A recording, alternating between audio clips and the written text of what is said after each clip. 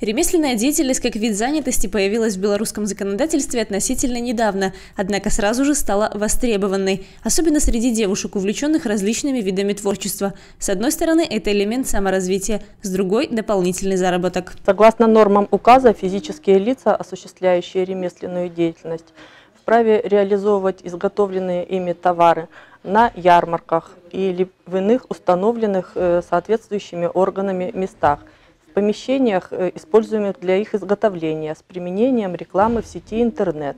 Причем разрешены все способы доставки изделий ремесленника – Возможно также реализация изготовленных товаров на основании гражданско-правовых договоров, заключенных с юридическими лицами и индивидуальными предпринимателями. При реализации своих изделий законодательство не обязывает ремесленников оформлять первичные учетные документы.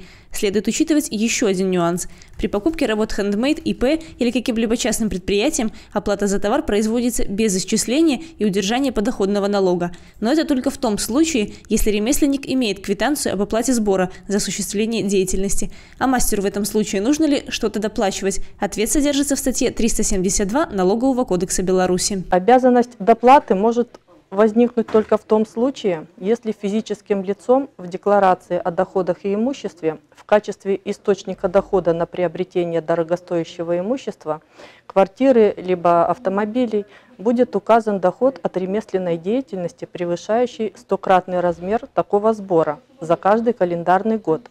И при условии, что за счет этого дохода произведены Э, расходы на приобретение, как было указано уже, имущества дорогостоящего. Размер доплаты составляет 10% суммы превышения. Она производится на основании извещения налогового органа в 30-дневный срок со дня его вручения. Анастасия Ноздрин, Плотницкая, Эдуард Бакунович, Дмитрий Лазарчук, телекомпания БУК ТВ.